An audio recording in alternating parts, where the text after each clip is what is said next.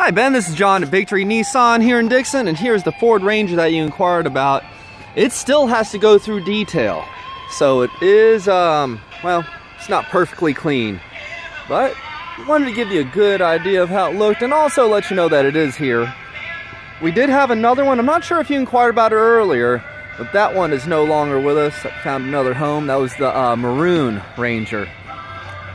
Uh, I guess, like I said, it hadn't been clean yet, but I mean, that way you know it's not all beat up and cracked on the dash or anything.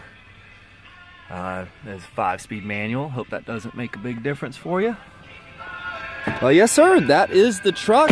And, well, for whatever reason, if that doesn't fit, you know, we do have some new Frontiers. I know that's a bit higher, but with some rebates and the right financing, we might be able to get you in the payment you're comfortable with. So, yes, sir. Uh, please give us a call or just respond to this email. We'll go forward from there. Thanks, Ben. Have a great day.